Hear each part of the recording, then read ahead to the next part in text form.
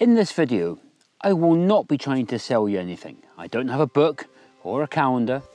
I'm not going to teach you a new camera technique either. And I'm not going to review any gear. So what is this video all about then?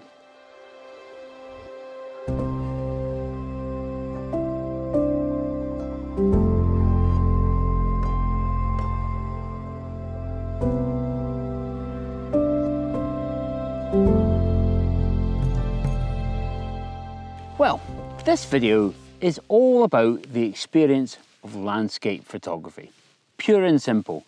It's just me, my camera, my dog, there's Monty there, just having a little wander about Dartmoor on a pleasant spring evening in the hope that we might capture some landscape photographs. Now that's not to say I don't ever talk about gear and I don't ever talk about post-processing or printing or any of these other things that kind of give a bit of variety to my channel. But the thing I'm most passionate about is just doing these simple videos where I just go out and you come along with me and we go on a little adventure and we try and find some pictures and sometimes we're lucky, sometimes we're not.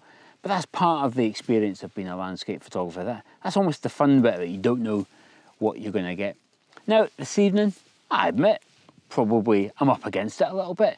Well, it is a very much a pleasant evening for a walk with your dog. Clear blue skies, it's sunny, not always ideal conditions for landscape photography. But you know, if you're not out there having a look, trying to find things, you'll never capture any images. So I'm, you know, I'm slightly hopeful that I'll get something. You never know, as that sun gets closer to the horizon and the light gets a little bit softer, we might be able to find some compositions.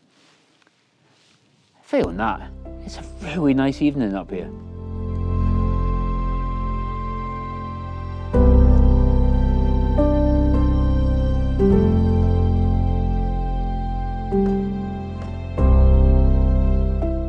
Well, after a little bit of exploring, I think I found my first composition. Oh, I think Monty actually found it. When he stood up on this rock here, it's got a really nice view out onto, I think that's Honeybag Tor down there.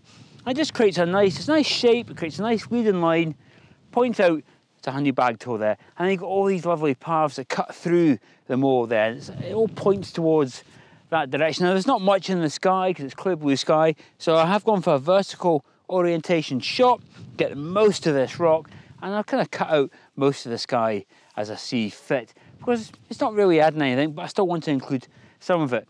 It's probably more of a reference shot because I think this location, looking about here, there's lots of heather. And I reckon if I came back about August time, August sort of early September, this could be a really cracking shot. But for a pleasant evening like this, it's a shot definitely worth taking.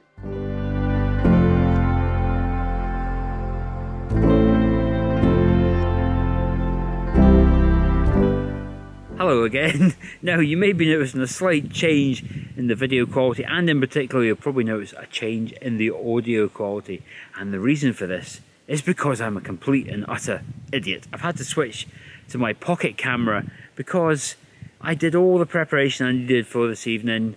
I thought I'd get my bag fully packed, get all the stuff in it, get all organised, uh, stuff for the dog. And then I forgot the most important thing you should take out in any photography trip and that's spare batteries. Yes, I didn't take any spare batteries with me, and because I've been doing the filming and taking stills photography with my Nikon Z7, the battery has depleted down to its last little bit. And now I've come to the final spot. Well, I've had to make this my final spot, I should say, because I kind of want to come back here because I've got an idea for a photograph that I think might work, but I'll tell you about that in a minute.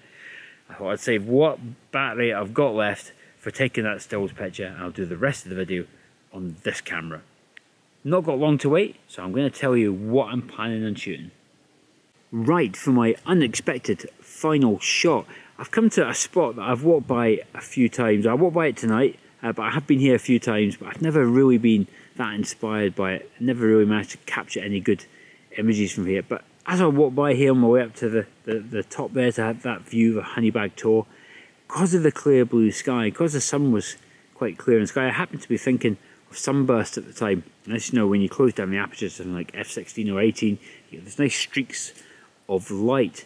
And I thought, well, as I go past the sort of balancing rock that's on there, I thought if I time it right and it just comes down through the little gap, I might be able to get the, the sunburst come through. That's the plan. No idea whether it's going to work. It's not the type of shot that I normally take, but hey, it's good to do a little bit of experimentation. So I've got an incy little bit of battery left on my Nikon Z7. So I'm going to get myself set up. I'm just going to have to time it right and capture the right moment. Fingers crossed. Hello, it's me. Yes, this is probably the first time I've spoken to you using the medium of voiceover. So, why have I decided to give a little bit of voiceover? Well, it's now that I've post processed the image that I'm about to show you that I have some additional thoughts that I didn't record when I was out in the field. Uh, and I wanted to record some of these thoughts and share it with you because, frankly, the image, well, it's not up to much. I was quite optimistic when I took it, but it wasn't until I post processed it that I realised it wasn't that great. So, why am I going to share it with you anyway? Well, I think it's always important to, uh, certainly for me personally, I like to share the highs and the lows of landscape photography. And sometimes it just doesn't go well. For, sometimes there's a reason for it, like you forget your battery, or sometimes the shot just doesn't turn out. And I'm one of the ethos behind uh, my channel, my blog, is that I share the highs and the lows. So if I pop the image up on the screen, there's certain things I don't really like about this image. Now, first of all, um, it's really it's it's it's a bit over processed. I'll admit. Therefore, you know, certainly because of the the contrast, and I've had to pull back quite a lot of the shadows. Uh, it's left the background a little bit mushy. Now, while the concept is good, I like the way the sun has burst through that little gap there. There's not a lot of interest in the sky. Like I say, you've got that mushy hills in the background, and the foreground because it doesn't have direct light on it it doesn't really add much to the picture. So what I think I'd do if I came back to this shot again is I'd shoot it wider, perhaps even panoramic, with a better sky, and uh, because of that wider view you get with a panoramic, it'll be looking for some light on the hills, and that would mean that the foreground or the lack of light on the foreground would be less of a dominant feature. So the concept I really like, the execution, and because of the conditions, not great. It's not an image I would normally publish, but like I said, I just wanted to share my thoughts with you and let you know that you know when you do go out and take landscape photographs, sometimes it goes well, sometimes it doesn't, and I'm happy to share the highs and the lows with you. Okay, so I'm using the very, very last bit of battery that I've got uh, to film the outro. Now, I don't know what that picture looks like. I don't know how I'm going to process it. I don't know if it's any good but it was something at least a little bit different and I'm glad I had a little bit of battery enough to take the shot. So hopefully it's come out, hopefully you like it. Um, but like I say, always a bit nice to do a bit of experimentation, particularly shooting directly into the sun. So very glad I got out at least anyway. So I've had a cracking evening despite the woes of forgetting my battery. You know, we all do these mistakes every now and again. Uh, let me know if you've made similar mistakes, if anything, just to make me feel better. But I do hope you've enjoyed this video and if you've got a few more minutes yet, I'll pop up some playlists and you can check out some of my more, uh, some more of my photography adventure videos. But until the next one, thank you so much for joining me again and I'll see you then.